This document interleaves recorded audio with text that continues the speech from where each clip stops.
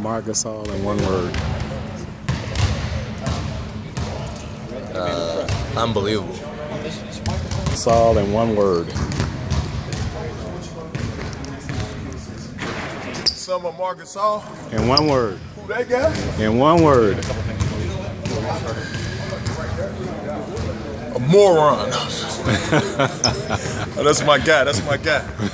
Uh, hey, hey, hey, one word can't sum up Marc Gasol. Mm-hmm. He's a great teammate. He's a great individual off the court.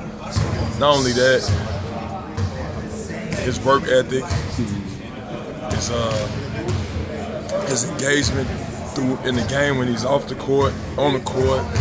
Uh, he just do so much for this team, and I'm just glad I'm playing alongside of him. Sum up Marc Gasol in one word. Man, Marc Gasol. In one word.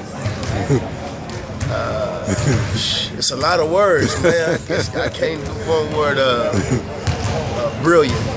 Um, best big man in the, in the league. Being best, been the best center in the league. I've been saying that for a long time, years. But I mean, he just coming to his own. Um, you know, it's it's great. You know, what I mean, big fella. You know, I'm his number one fan. You know, on his team. So, you know, I just how he go is how we go. Need you to sum up Marc Gasol in one word. awesome.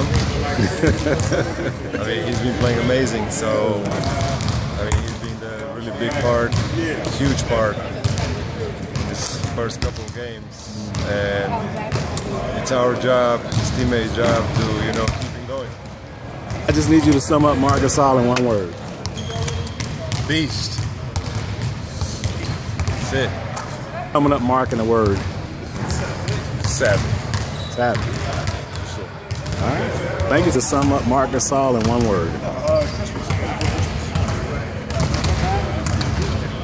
Moy.